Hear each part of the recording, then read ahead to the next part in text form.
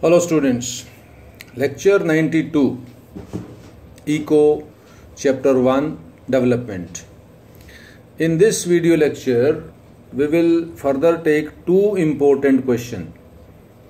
First question is what are public facilities and why are they necessary for national development public facilities and second question is what are the attributes used in international comparison. Explain each.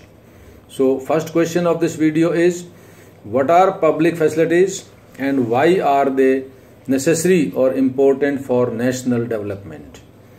The first point the facilities which are provided by the government at low cost or no cost are called public facilities. For example public transport government hospitals government schools etc second point can uh, be given in this that income by itself is not a complete adequate indicator for material goods and services that citizens are able to use. Material goods, the things which we can purchase by use of money. Non material things, value system like respect, dignity, equality, etc. Third point in this can be given as that money in your pocket cannot buy all the goods and services that you need to live better. This is also uh, sometimes asked uh, as an as a as a um, uh, question statement based question that money in your pocket cannot buy all the goods and services that you need to live better. Explain. So with that you can. With money you cannot be able to protect you from infectious diseases. Also money cannot provide you pollution free environment etc some more other uh, justifications can be given like with money you can buy a good book but not the knowledge inside it. With money you can buy a good pen but not a good handwriting. Like this uh, many more examples you can give.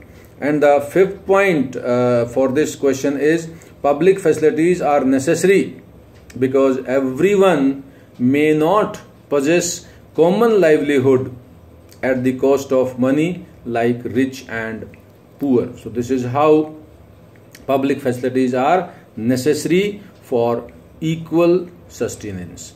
Next question is what are the attributes or the terms or the factors used in international comparison explain each so these are the factors or the attributes used in international comparison the first one is gross national income or the gross domestic product in us dollars US dollars. Why? Because there should be some common currency on which, uh, after calculating, uh, the uh, comparison can be brought.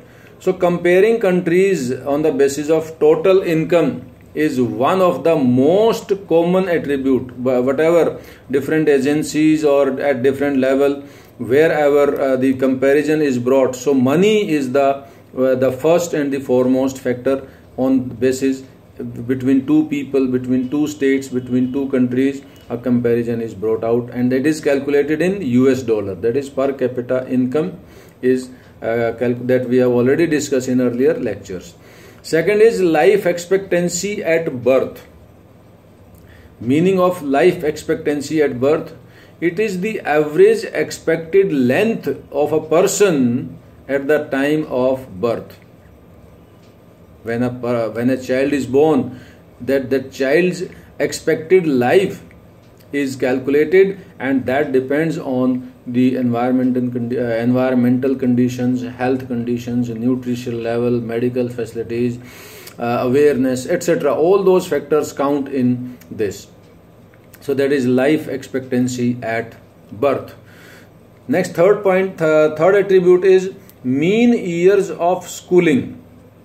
Mean years of schooling. It describes about the number of uh, students that are attending different educational institutes up to the age of 25 and above. In uh, interstate comparison, we discuss in the age group 14 and 15 attending schools, but in international comparison that is mean years of schooling is a difference so uh, the people those who are attending different educational institutes for their higher studies up to the age of 25 years and above. And the last one is human development index ranking or the hdi ranking. This is also asked for one mark sometimes that what is hdi so human development uh, index is calculated after taking the above three factors into consideration and that is uh, a table is also given in the book. That is table number 1.6 in which some countries 7 8 countries are compared and their HDI ranking is calculated. So this is what is in this uh, video lecture. And uh, out of these two questions many a times uh, questions in board exams are asked. So thank you very much. Keep on watching. Keep on listening and keep on reading from the description area